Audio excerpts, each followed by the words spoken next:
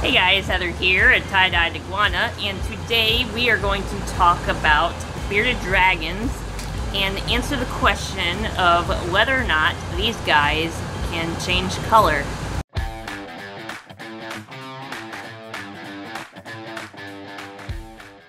Now when you think of a lizard that is more well known for changing colors, you're probably thinking of a chameleon or something like that.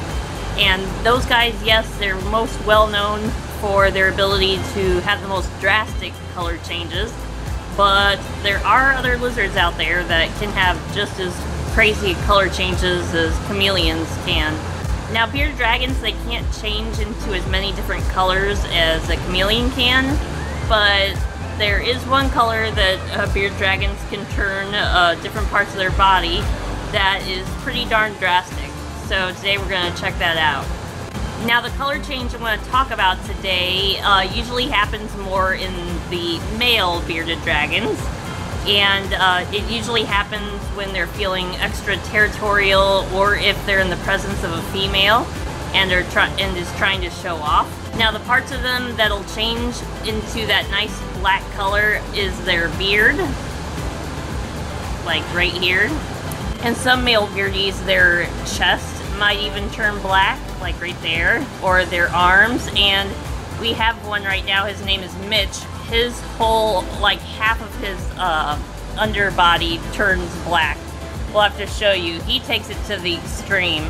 Uh, we'll show you the difference between him and Mordecai today. They're with their uh, females that they're breeding with, so they both got black coloration going on but one of them is way different than the other as far as how much black coloration he really shows.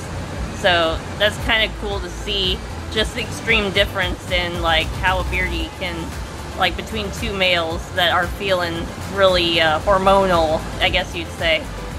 So yeah, Mitch here, he is showing the really black beard, solid black beard, and he's also got the black patches on his arms, his chest, and you can see it's like all the way down to like the second half of his uh, body, like down his uh, underbelly. So he's taking it to the extreme. Whereas you'll see here with Mordecai, he's only got a black beard today.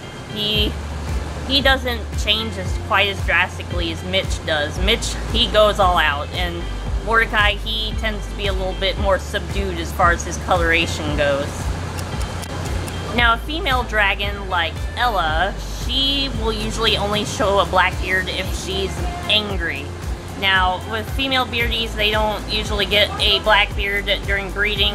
They usually show it unless they're like maybe already gravid and they don't want to breed with the male. That kind of shows that like, hey, I don't want you to mess with me. Kind of shows that she's mad at him. So yeah, that'll that'll ha happen if they're not feeling like breeding. And uh, in uh, any beardy though, either males or females, their beards can turn black if maybe they're feeling ill or if they're getting sick. If you notice them acting lethargic and everything and they have the black beard, that means they're really stressed and they're not feeling well. So it can mean two things.